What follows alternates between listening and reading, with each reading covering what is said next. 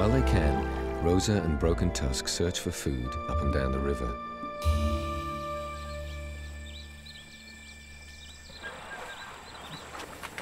The adults can last four or five days without water, but the calves must drink every day.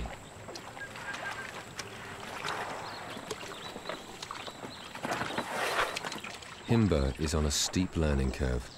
He hasn't yet managed to fill his trunk. He drinks with his mouth instead.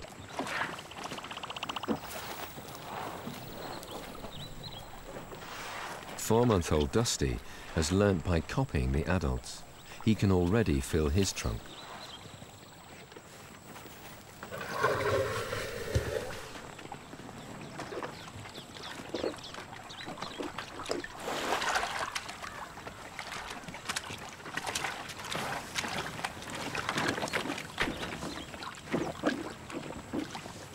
The older elephants can suck 10 to 15 litres into their trunks each time.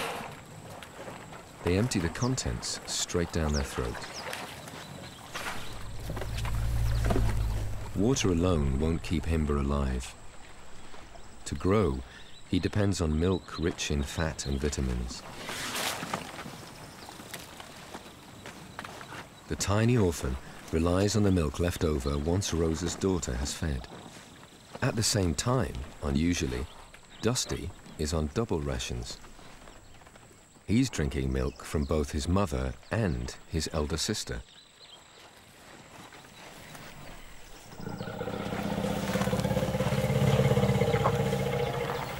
As males, Dusty and Himba should grow faster and larger than their female relatives.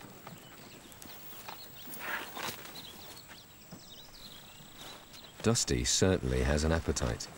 If he sees his elder sister suckling her own calf, he'll try to prevent her. He's able to feed much more than Himba.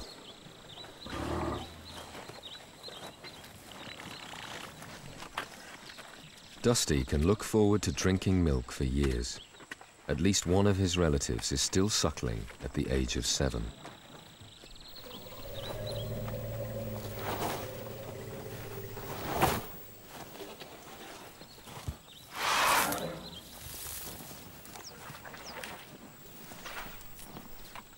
Rosa and Broken Tusk will do everything they can to give their offspring the best chance of survival. The small families need every extra member they can raise.